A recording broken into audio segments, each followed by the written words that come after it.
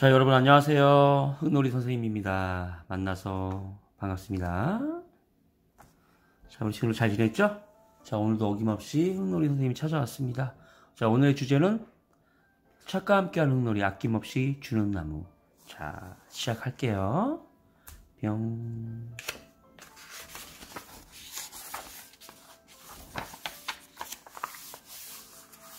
자, 오래전에 나무 한 그루가 있었어요. 큰 나무네요. 자, 그리고 그 나무에게는 아끼는 귀여운 소년이 있었죠.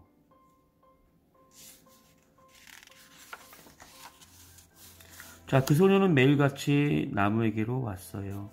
나무야, 안녕. 안녕, 소년아. 어서 와.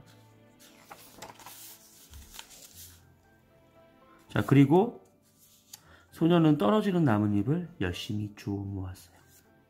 하나, 둘, 셋. 엄청 많다.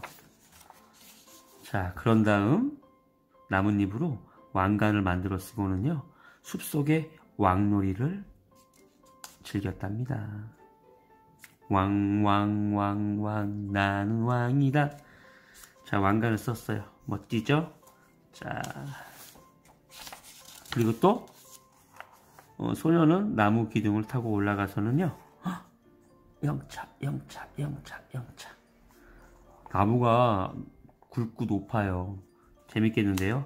어떤 놀이 했을까요? 나뭇가지에 매달려 우후 그네도 타고요. 또 배고플 때는요. 사과 열매를 따먹기도 했어요. 어? 그럼 이 나무가 어떤 나무예요? 사과나무. 딩동댕. 맞아요. 사과나무였어요. 자, 그리고 그들은 때때로 숨바꼭질도 즐겨 했답니다. 꼭꼭 숨어라 머리카락 보였다 여기 있죠 자 바위 뒤에 숨은 소녀는 못 찾을 줄 알았는데 나무는 여기 있어 이렇게 재미있게 놀이도 즐겼답니다 아이고 재밌게 놀다가 지치면 나무 그늘에서 낮잠도 잤답니다. 사과도 먹고 배도 부르고 재미있게 행복한 시간을 보냈나 봐요. 그리고 소녀는 나무를 사랑했어요. 너무 사랑했어요. 말할 수 없이. 나무야 사랑해. 나는 너밖에 없어. 그래서 나무는 소년의 사랑을 받아서 마냥 마냥 행복했답니다. 나도 너 사랑해. 자, 그러는 사이 시간은 자꾸만 자꾸만 흘러갔어요. 어? 꼬마였던 소년이 중학생이 된 것 같아요. 그죠? 어, 사춘기도 왔나 봐요. 자, 소년도 차츰 나이가 들어갔어요. 다리가 하나, 둘, 셋, 네 개네. 여자친구가 생겼나봐요. 어.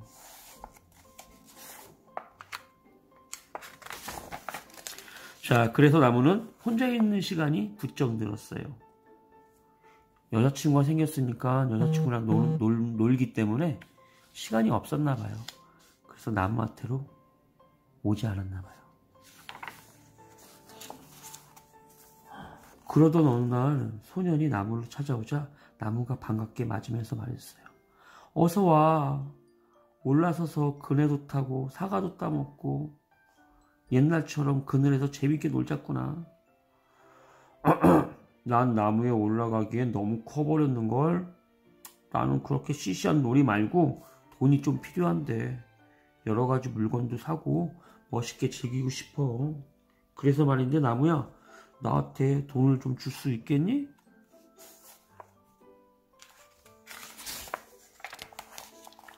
미안해. 나무가 이야기했어요. 어, 일을 어쩐담 가진 돈이 없어서 내가 가진 거라곤 나무니까 사과뿐인걸? 얘야, 사과를 따서 저기 시장에다 내다 팔렴. 그렇게 되면 돈을 가질 수 있을 테고 너는 그 돈으로 물건을 사서 다시 행복해질 수 있을 테니까. 그 말이 끝나자마자 소녀는 나무를 타고 올라가 사과를 다 따모아 가지고서는요 떠나가 버렸어요. 어, 그런데 나무는 그저 행복하기만 했답니다. 음, 사과 다 따가지고 왔나 봐. 그러자 떠나간 소녀는 오랫동안 돌아올 줄 몰랐어요. 나무는 슬퍼요. 왜 슬펐을까요? 사랑하는 소년을 보지 못하기 때문에 슬펐겠죠? 자, 그러던 어느 날 소년이 드디어 돌아왔답니다. 나무는 너무나 기뻐서 어쩔 줄 모르면서 말했어요. 웬일이야. 얘야 어서 올라와. 그네도 타고 재밌게 놀자. 이제 어른이 된 것 같아. 어, 난 아주 바빠. 나무에 오를 틈이 없어. 소년이 말했대. 말했습니다. 난 따뜻하게 감싸줄 집이 필요해. 그리고 아내와 아이들이 있었으면 좋겠고, 그래서 집이 필요하거든? 내게 집 한 채 마련할 수 있겠니? 어, 내겐 집이 없어. 나무가 말했어요. 이 숲이 나의 집이거든. 하지만 너가 내 가지들을 베어다가 집을 지을 수 있을 거야. 그렇게 되면 너는 집이 생길 거고 행복해질 수 있을 거야. 이렇게 말했어요. 근데 이렇게 말이 끝나자마자 어, 톱으로 쓱싹쓱싹 나뭇가지들을 잘라 자신의 집을 짓기 위해 가지고 가버렸답니다. 다 가져갔네요. 나무는 지금 그러면 줄기뿐이 없, 기둥뿐이 없네요. 그죠?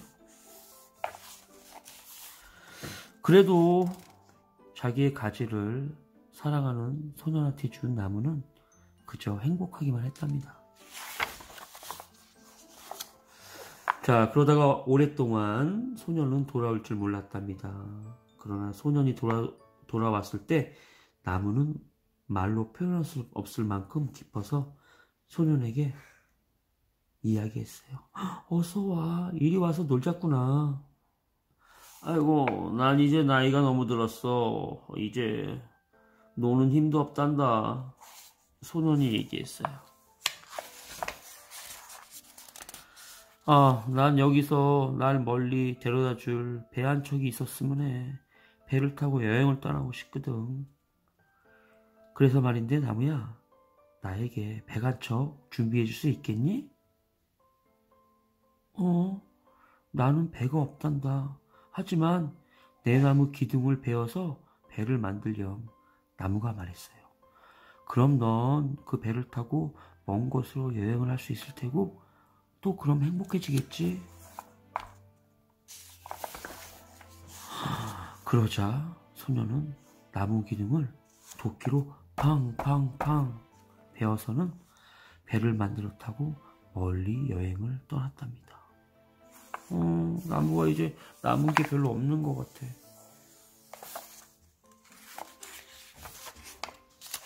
자, 그리고 나서는 나무는 그저 행복했어요. 하지만 꼭 그런 것만도 아니었어요. 자, 그리고 오랜 시간이 지난 뒤 소녀는 다시금 찾아왔어요. 소녀라 미안해. 나무가 말했어요. 너에게 줄 것이라곤 아무것도 없으니 말이야. 사과도 다 떨어져 버리고. 나는 이가 오래돼서 사과를 씹을 수도 없는 걸. 소년이 말했어요. 내 나뭇가지도 잘려나갔으니 그네를 탈 수 없게 됐고. 내가 나무를 타기엔 너무 늙어버렸어. 소년이 대답했어요. 어, 기둥도 베어졌으니 내가 오를 수도 없게 되었고 난 나무를 타, 타기엔 늙어버렸어. 아무튼 미안해. 너에게 뭔가 주긴 줘야겠는데 내게 남겨진 거라곤 아무것도 없어. 그냥 한낱 나무 밑등에 지나지 않아. 너한테 미안하기만 따름이지. 미안해, 소년아. 아이고, 이제 내가 필요한 건 별로야. 앉아서 편히 조용히 쉴 곳이나 있었으면 좋겠어. 난 정말 피곤해. 늙은 소년이 말했답니다. 음, 음 음, 그렇단 말이지. 어, 좋아. 나무가 구부정한 몸체를 안간힘을 다해 똑바로 펴면서 말했어요. 자, 소년아, 앉아서 쉬기에는 나무 밑둥이 그만이야. 자, 이리 와서 앉게나. 그리고 앉아서 푹 쉬렴. 그래서 늙은 소년은 엉거주춤 나무 밑둥이 하라는 대로 했답니다. 소년은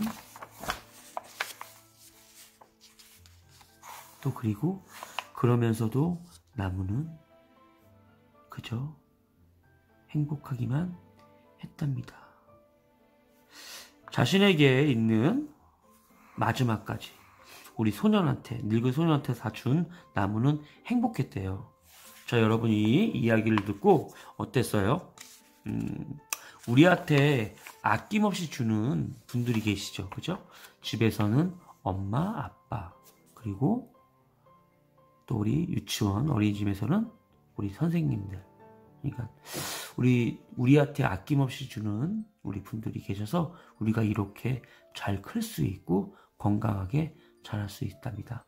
우리는 항상 이렇게 우리한테 좋은 분들을 위해서 어, 착한 마음, 착한 생각, 착한 행동을 해야겠죠? 자, 오늘 저랑 같이 이렇게 아낌없이 주는 나무 읽어보았는데 오늘은 나무를 한번 만들어 볼게요. 아낌없이 주는 나무. 자, 지금부터 흙놀이 시작하겠습니다. 병. 만들어 자, 지금부터 나무를 만들어 볼게요. 아낌없이 주는 나무. 자, 먼저 기둥을 만들 거예요. 큰 줄기. 줄기를 너무 길게 만들면 무너질 수 있으니까 넘어질 수 있으니까요. 이렇게 좀 짧게 이렇게 만들어 주는 거야. 그런 다음에 나무에 가지. 자, 우리 어른이 된 소년이 가지를 가져다가 집을 만들러 가지고 왔죠. 그죠?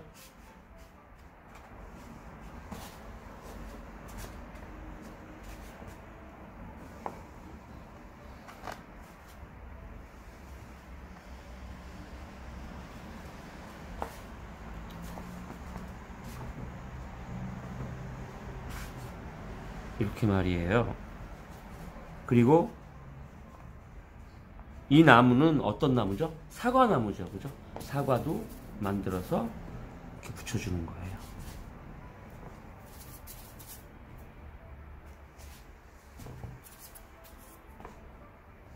동그랗게, 동그랗게, 동그랗게, 동그랗게.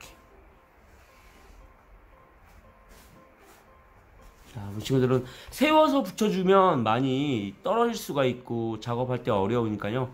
눕혀 있다가 나중에 이렇게 한 번에 세워주면 됩니다. 아셨죠? 자, 이렇게 만들어 봤는데요.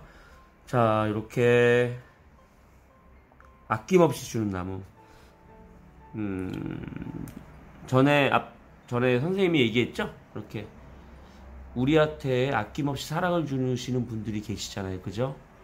우리 엄마, 아빠, 우리 할아버지, 할머니, 우리 가족들, 그리고 유치원, 어린이집에서는 우리 선생님들. 항상 감사한 마음을 갖고요. 우리가 생활할 때 좀 더 좋은 마음으로, 바른 마음으로, 바른 행동으로 우리 친구들 생활하길 바랍니다. 자, 저는 이렇게 사과나무 만들어 봤고요.